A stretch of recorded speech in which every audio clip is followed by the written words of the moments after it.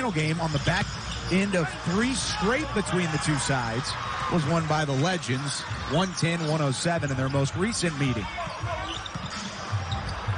Lofted, and there's Grant Riller from the guard position. You saw it there. Yeah, that's a deadly move, going into a handoff and rejecting it into the step back three.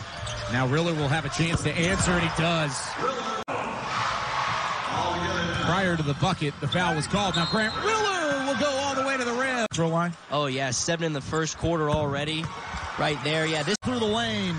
His first highlight reel dunk with the Texas Legends. And now they have a takeaway. Chance for Grant Riller, and he lays it in to give Texas. Rim and left his feet. Withers with the great cut got rewarded. Legends rewarded with a takeaway. Riller will go all the way to the cup. 6-R score as the third quarter is finally here. And we are ready to get underway in the second half of action in G League basketball from North Texas. Grant Riller will bring it back down the floor. See what Oklahoma City does from a defensive standpoint to try and slow down Texas. Really shot the ball at will in that first half, over 55%, and they'll continue.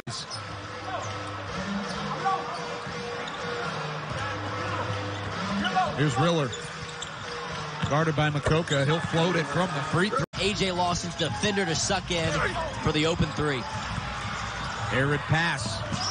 Gotti put it up. Texas takes advantage. Baba thought about the three, but it waits.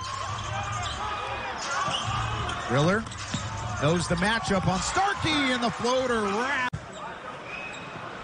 Nobody on either side really in foul trouble, and we're tied back up at 117. Second one good as well.